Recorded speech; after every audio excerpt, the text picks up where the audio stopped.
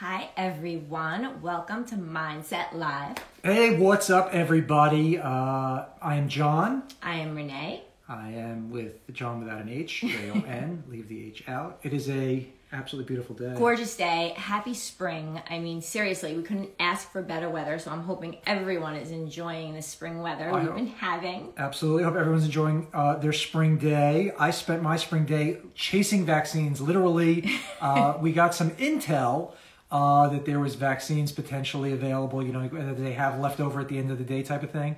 And so we jumped in the car and we raced over. And uh, they looked at us, and we got out of the car, and we were so excited. And hey, we're here, and we're ready to do our part. We want to take our vaccine, ready to go to Donicola again. And the next thing you know, they said, uh, first of all, you're not over 60. Second of all, I don't know, you know what you're doing. Just go back in your car and go home. And so here we are. But Here now we we're here with you. We left. So very excited. but that was our eventful day. Um, let's see if the girls are ready. I don't know any of these people. No. I don't know any of the people requesting us. I don't know them. I think it's Jamie. Oh. I think she wants to come in. Does Jamie want to join the party? She totally can. Okay, so let her in. I don't know what to tell you. Um, Uh, but let's talk a, bit, a little bit about our guest today. Yes. Uh, so our guests today are two amazing young ladies who have really cool mindsets. Yes. They are Jessie Friedman and Skylar Chwatt. I, what's the relationship between them? I don't. Did they just meet or They are cousins. They are cousins? Of course, I know that. So I'll give you a little history uh, about um, first Jessie's parents. Uh, are of course the incredible and dynamic uh, Jamie and Evan Friedman, Chwatt Friedman of the Schwat Friedmans of Boca Raton, and uh, been lifelong friends of ours, and of course incredible supporters. Uh, and then of course there is Skylar's parents and Skylar's mom.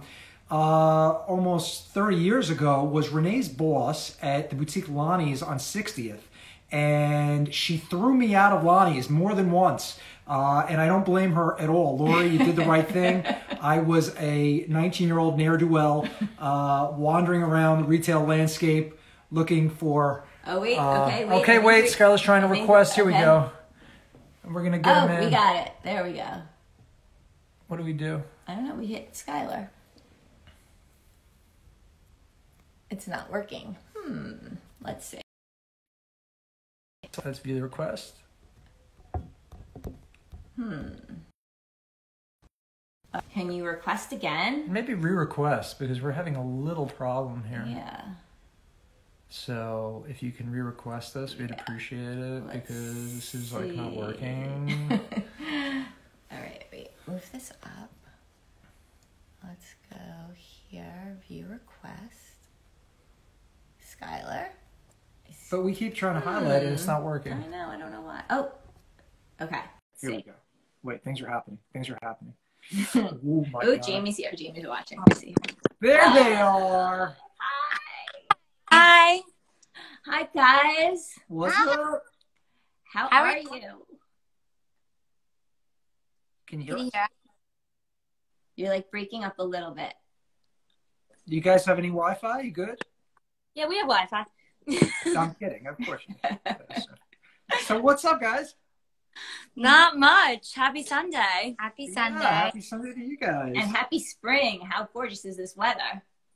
So nice out. So nice. The best Jessie, day. you brought it with you, I think. I know. Why, why not? Just brought it with me. So anyway, let's let's jump right in. Um, I think it was about a year ago today that Jessie, you were abroad, correct? Yeah. Uh, March 13th. But who's counting? Yeah, who's counting? Literally, and uh, everything obviously changed for everybody. Uh, but Right. you were abroad and you came home. And what was what was that? What was that journey like for you when you when you first heard and you realized you had to come home? And now, Right. A year later. Um. So the beginning of it, complete denial. I didn't think it was real. I every jacket to my knee. I mean, while I've been in New York, I've used Skylar's jackets because I left everything there. I just assumed we were going back. It was a week or two weeks. You know, me and my friends were planning what our next trip was going to be when we got back. So it was definitely not something we thought would be a year later we being the same thing. But yeah, it was definitely all of our worlds. I mean, especially mine. I had to travel across the world, but all of our worlds kind of changed. And to the day, haven't been the same, but definitely a learning experience. You got to just adapt with what comes. And I somewhat became like a high schooler again. I moved back into school and had to do, you know, move back home and had to do school at home and kind of had to adapt to that life again where I was very used to doing it by myself and on my own. And, you know, the good part about it was I got my mom's cooking back and I got everything that came with, you know, not doing yeah. my own laundry, which is obviously. um, Absolutely. So, and, and, and you got some good CBD out of it. Oh, of course. Never been calmer, never rested better. yeah, thank you. Whoa, jeez. you guys okay? Really? Okay everybody. If you were curious, this is not taped. Uh, by the way, it is live. And so if anybody has any questions for any of us, please feel free. Also, I don't want the audience to get comfortable thinking that we're going to have multiple guests on every week. Uh, this is our second week with multiple guests, and we're not going to just keep increasing the guests every week. We're not going to have five next week. I like it. I think it's I think it's fantastic. But, uh, family involved next week. All of them. Schwartz, yes. Friedman. Oh my, oh my god, god, that would lit Schwartz. I love right. it. Friedman's what? everyone. Yeah, no. That would be lit. But Thank you. Would be lit. Yeah. Wait, Skylar, tell us what happened for you, how how it was last March for you. Yeah, so I had a trip planned to go home on March 6th and at the time I was working at Twitter and Twitter had was one of the first companies to say um, you know, we highly recommend you work from home. So I thought, especially after traveling, so I thought I was going to go home and then I would have to quarantine for two weeks before returning to the office because they said domestic or international travel all required us to quarantine. And then on Sunday, I was about to fly back. On Monday, I got an email from work saying we highly recommend that you no one comes into the office. So I was stuck in Boca for what I thought would be a weekend until August with three days worth of clothes. Um, so yeah, my life like pretty much changed at that moment in time, and I like kind of fell back to being a high schooler too. Like Jessie said, obviously, you know, we're going through different things, but this pandemic was something that like we both went through, and just right. we so all you both you both came out of it it seemed with this a new mindset if you don't mind me saying and, and this amazing way that you guys you know were able to adapt. Uh, I don't know if it was something to do with your age or, or, or the adaptability of, of as a population, but you guys just adapted and you just kept moving forward. And I think it's really a, a testament to a lot of people your age that we're talking to. You know, I mean, it was such an upheaval, and yet uh, a combination of, I guess, really just rolling with it, rolling with it, and, and not pushing against it, really provided for you guys this incredible yeah, I mean, um, there, there's so much uncertainty. Like like Jessie said, you didn't know what you thought you were going back. I think like a lot of people can relate to that, and a lot of people felt that because it didn't feel real at the time. Like I remember up until the last day, like my son thought he was going on spring break, and it was like, no, you're not going. It, it just everyone did not realize what this. I don't think we could have. It's unimaginable. But you guys have such great mindsets, and you're just like, so. So wait. So what happened? So Twitter did that. You were in Florida, and now do you still have the same job? Like, how did that work? Like, yeah. So I would say the pandemic was definitely like a crazy thing for me. Um, I actually lost my job in September. I was laid off because of the pandemic. Um, so not only like being stuck at home, you know, I had lost my job. Um, my whole life had pretty much changed in that time. Um, so my anxiety was pretty high, and I really like did rely on CBD to kind of you know help me through that time. Um, when I was like unsure about my job status or when I get employed again. Um, you know, CBD was kind of the calming aspect for me, especially in my sleep. Like I would wake up at four in the morning prior to taking it and would just like be laying there thinking about like what I, what else I could be doing to, you know, apply for jobs. And, you know, it's a tough market right now. People aren't getting. Yeah, no, it is. Yes, we have an affiliate program if you'd like to join. But, um, but yeah, no. but still, I'm you you chose though it, it's like says something about you that you chose to help yourself and you said you know what i could just sit here and have a mindset of just you know being depressed or being having anxiety and you said no i'm going to help myself and i'm going to choose a different mindset. I'm going to choose to help myself and take care of myself. And that's really amazing. And that's like the first step in like, you know. Yeah, I think that's been a, one of the most impressive things I've seen with people is that their willingness to want to take care of themselves and to open themselves to natural remedies and to different uh, solutions to helping themselves, whether that was meditation or that was cannabis or that was uh, yoga, everybody trying to figure out these natural solutions to the overwhelming anxiety and, and stress that everyone was just under this this this intense pressure. Uh, I'll tell you a very quick story. Last night was the first time that Renee and I went out with our friends. We went to our friend's house, our friend Mark. Happy birthday, Mark! And uh, he had us and our little group over, and we hadn't seen any of our friends in uh, since the winter started. And the New York winters are, are tough. It was cold and it was hard, as you as you can imagine. And uh, I was so anxious though before I went. I was excited to see everybody, but you know, I took the CBD and obviously it was really this wonderful thing where I was able to enjoy myself and enjoy the experience of reconnecting with my friends. What's it like for you guys? What's it like? You're in New York City today. It's a beautiful day. Are you out and about? Like, wh- what is that like for you? I mean, go first. we, we, we're try. I think, I think, you know, nothing is normal. Oh, normal isn't a normal word anymore. So we don't do anything normal. Honestly, even before then, you know our family, we don't do anything normal. Everything is. on that. Yeah. Beyond crazy, it, it's our normal. So we don't do a normal. So we do what we want to do or what we feel comfortable doing, and then at sometimes you know stepping out of our comfort zone. So I think trying to make the best out of a somewhat not great great situation. So even right now, I mean, we're in Skylar's apartment and we're just hanging out and we're just happy to be with each other, not have to be, I mean, even we were both somewhat back to high school when we were stuck at home. Um, and we couldn't even see each other because just, you, you didn't know we couldn't leave know. houses. So I think we're just so grateful that we could even just do this. We can just, you know, be on Instagram live and be next to each other rather than it being separate. So I think mm-hmm. that's the great things that we can do. But, you know, even I lived here, you know, in New York when I was a kid and, you know, it brings back weird memories, but it's somewhat the same, just with maybe a face covering and right. yeah.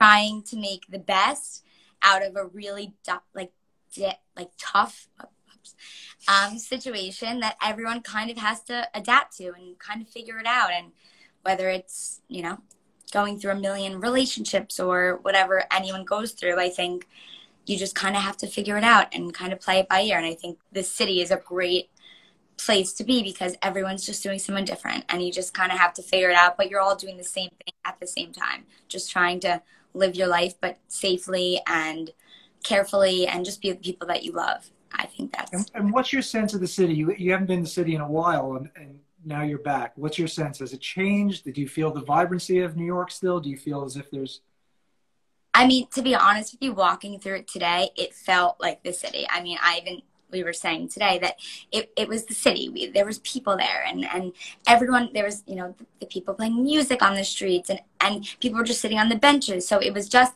it was to me, it was the city, and and you kind of have to overlook the masks, uh, somewhat like scaredness of it all because you just have to go with it. You just yeah. kind of that's exactly it. It's like exactly what you said. It's not normal, and you have to lean into the not normal. And once you like accept that everything is not normal. what about you, Skylar? What was your what's your take? Yeah. I was obviously home for the first six months, so coming back to the city for me was culture shock. I left my apartment in this like state like where I thought I'd be back in you know, a weekend and like there was stuff that like was just unsettled in my apartment. So coming back was definitely like a very weird anxiety feeling. Um, but I came back in summer and I definitely like saw the changes with like the outdoor dining and what's going on. And then as the weather started to get cold, the city started to get, you know, a little bit more empty and you know started to kind of feel more deserted but now as the weather's changing again I really think like there's great energy in the air. Like I keep telling my friends that like this New York is like peaking right now and like, you know, spring is going to be such a fun time with more people getting vaccinated um and people, you know, being able to control the pandemic a little bit more than we were able to a year ago. So I think that, you know, just trying to live in this new normal and you know outdoor dining has been something that like i've been like a huge fan of this pandemic like i'm pretty against indoor dining unless it's with my poppy Uh, Yeah. Same. Uh, yeah, we haven't we haven't indoor. no, we we haven't done only indoors. outdoor. um, so yeah just like making the best of the outdoor dining and like this weekend it's been beautiful out so you know we sat outside yesterday um on a terrace and we just hung out outside with our family which was just like an amazing experience and you know hopefully as the weather continues to be nicer um the virus will kind of go behind us somewhat it will always still be here but like we can you know make more normal uh, Okay. Yeah, I mean that's exactly it. I mean the mindsets that you guys have is exactly it. I mean it's it's it's whatever the new normal is going to be. It's going to be a hybrid of a combination of things that we had gone through, and there were some very useful things. And in fact, we were talking last night, uh, a friend and I, and he he was in a, in an office for the last year. It's his own business, but he was really excited about being in the office for the year because it gave him that continuity. Where uh, Renee and I were working completely from home, and really were enjoying that sort of autonomy of being able to work when we wanted to work and not when we wanted to work. And so we were talking about going forward. What do you think? Do you think that there's going to be people going back to the office? Do they need that, or can you? And how do you feel Yeah, about how do you it? Feel do about it? you, Do you think want that- to be in the office or do you want to like it better from home? So I think it's like a mix of both. Like I love the ability of working from home. You know, I've been able to go home to Florida. Like I was home last weekend, um, and I was able to actually like work from my house in Florida, which is the great part of the flexibility and from working from home. Um, I currently work at Roku, and they like want everyone to be in the office as soon as we can be in the office. But I think it's going to be a more flexible schedule where it's might be like three days a week. I just don't think the in the office thing is just going to be the same anymore. I think people are learning that you can adapt and adjust to, you know, these new changes and you don't need to be in an office to do your job. You can do your job from home. And it's crazy because there's were some days where I wasn't working and before I started working at Roku where I would be home, you know, by myself. I live in a studio apartment and I would feel like I'm not talking to anyone for the whole day. So I would like call my mom to make sure like my voice like still worked and because Oh my god! Yeah, I You're like texting and like watching TV and I don't know, like I wanted to make sure like I could still like have vocal cords. So Wow. I hear you. Wow, That's that's that's that can cause anxiety. yeah. and what about you, Jessie? You're graduating, right? You're Right. So- So I'm graduating, actually going to grad school, which is a change in itself. So, you know, at the moment, not sure where I'm going to be, what I'm going to do, if it's going to be online, if I'm going to, you know, have to do an internship through grad school online. E- Everything is kind of unknown, but I think what we've had in our life is, and, and I hope I can speak for Skylar and I, and I think I can, but I think the constant that we've had is our family. And I think even our, we have a group chat of 23 of us, Oh, and the entire day it's been blowing up because um, our poppy got vaccinated.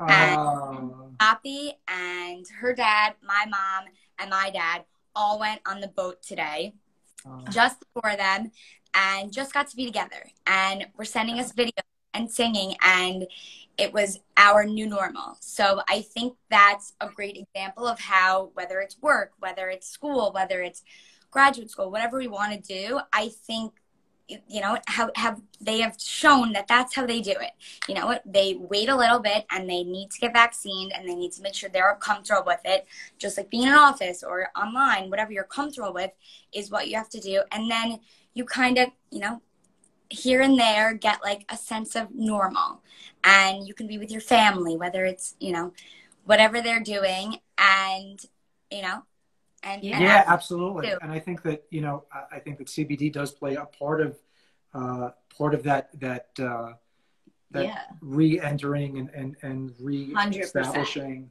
that Like, normalcy. For me, yesterday I went to the city for the first time in a year. Like I haven't been to New York City in a year, and I, I used to go all the time. Um, and go, I was so anxious about going in. I had to take a calm gummy. I saw all. By the way, I was happy that the city was like bustling and like it, it really was. It was so nice to see, and everyone had their mask on, but it was okay. Like, but I was still nervous. Like I still I wasn't used to seeing so many people or like being near me. It, wa- it was definitely. But once I had my calm gummy, I was fine. So not to get all seeing other people on you, Skylar, but uh, we did hear that you might be dating somebody. I don't know. Do you want to do you want to give us any insight into that? I all, um, it's funny that you mentioned seeing other people because Alana is one of like my really good friends. So it's just so funny, you know, how all these worlds are colliding. But it's great. It's so it's so amazing. Yeah, it's definitely like one of you know the great things that happened to me this pandemic was like I was able to meet someone and connect with someone and like a year ago I would have never thought that like I could meet someone during a pandemic, but I did. So that's amazing. Yeah, it's the power of mindset. it really is. You had a good mindset and you met a good guy. So yay. I mean, dating must be really difficult now for people. I can't imagine what goes on. I like when I came back to the city, um, I started dating and it was a whirlwind because like you didn't really know what, you know, you could really be doing in terms of like safety. I didn't really want to like indoors weren't even open, but then like when indoors open, like I didn't want to um, do anything indoor dining, so I'd kind of like tell people that like right before like the first date, um, making sure they like understood like my comfort level, and then like it's weird because like when you show up to a date, like you're wearing a mask and like you don't like you've probably seen like two pictures of this person, whether it's like through a setup or a dating app or Instagram, like you just like don't know like what yeah. they really and like then like you don't know if you should hug or like like elbow tap like i would just really yeah. comfortable thing yeah no that's the new foreplay the elbow tap elbow tap easy easy easy easy buddy. don't elbow tap me in public um so let me ask you a question what is if you had if somebody came to you and said listen uh, i've heard all about cbd and i'm interested but they're just not sure, what would you say to them? You know, how would you how would you explain your experience? Jess, want to go? Um, well, I would first explain that that you taking it, you're not gonna you're not gonna be high. You're not gonna. I think that's maybe like a worry of someone that that if they take it, they make it high, which is so not the point. I mean, for me, I I remember um, my mom got a package from you guys when I was um, taking the GRE during you know, school and quarantine. And my mom said, Here, take this focus gummy. And I remember you, Renee, and I was like, is it gonna work? Like I, I don't I don't know if it's gonna work. And I took it. And I think sometimes for me it might be a mental thing. And then I was like, I, I remember after starting, I said, Mom, these actually work. And she was like, Are you sure? I was like, I think so. I really think they really, I was so, I could not stop focusing. And I, I don't love it for any way, shape, or form. But I was so focused that I just really did it. And here we are, took the CBD focus gummies for my GRE. In one try, did it, sent my scores, and they happened to have been great. And that fun. And I somewhat owe it to you guys for pushing yes. me, pushing my mom to just be like, just try it, just right. see what it's out. Yeah and then waiting and for my very modest so we're going to take all the credit for all of your future success. Everything you do going forward is respond we are responsible. If you take credit you have to pay for her grad school. Oh me oh, too. oh jeez. I got to sell it was all jamie. It was yeah, all right. jamie. I think yeah i think jamie had a lot more to do with it actually than we're leaving on. Jess that's amazing. That is incredible and so then how did you incorporate it into your like routine or life after that that you realized that it helped you Right. So I've I've not been the best sleeper in my life. I'm sure my mom is on here and probably is laughing and attests to that for all three of us. Um, but the calm CBD was always what I first took right before I was not right before I was going to bed, before I really was ready to just go to bed and essentially calm down.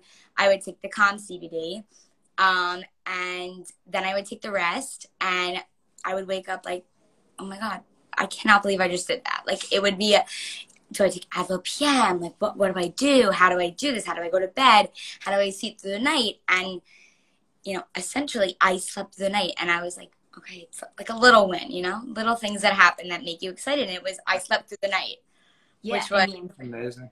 Amazing. And that takes so much stress off of your life to be able right. to sleep is like so important. Right. for everything. Rest. I mean, if you don't rest, if you don't recover, I mean, you, you're just never going to be at your optimum. And It's so, true. I'm so happy that it That's helped. fantastic. And Skylar, tell us about your journey with CBD. Yeah, so I like feel like I had just like a crazy like summer fall of last year. Um I had like gone through like a breakup and with losing my job and all of that, like things were just like, you know, I kind of felt like it was like a dumpster fire. And my boss was like being really, really hard on me. Like heard through the grapevine that there were going to be like people laid off from work.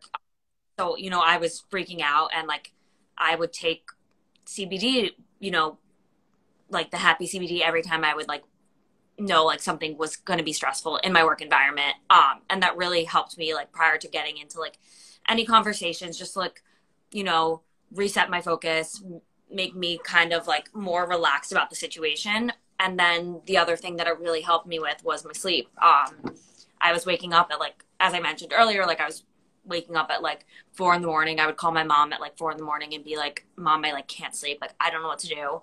And then I started taking um, CBD, and it really like changed me. And like I can't sleep out without it now. Like I've literally given it to anyone I know. I'm like, "Do you guys want to try this?" Like I, I, I have. And like it just really helped me, and now I can sleep through the night, which is like super important for me because like I'm a morning workout person, and like if I don't have like a good night of sleep, then like I can't work out, and like it just like Same. messed me up my whole day. Totally. Morning workout Wow. person. well, that's Yeah. amazing. I love that. I, I love that it helped you. And I, I love how you guys like have added it to your routine. So it's just a part of your routine now. It's not even like you don't even think about it. Oh, okay, I'll, I'll take a rest gummy or I'll take a calm gummy and you just feel better. And it's that simple. And you both made the choice to feel better, to help yourselves. And, uh, and I think there's so many people out there who are so curious, but afraid to make that choice. It's almost like when you're saying to yourself, um, oh, I'm okay, I'm okay, I'm okay. But you know what? Like, you have to really take care of yourself. It's not just okay to be okay. You don't have to sit in that. And you guys are great. Awesome. I love it. What advice would you give to people, you know, thinking about CBD?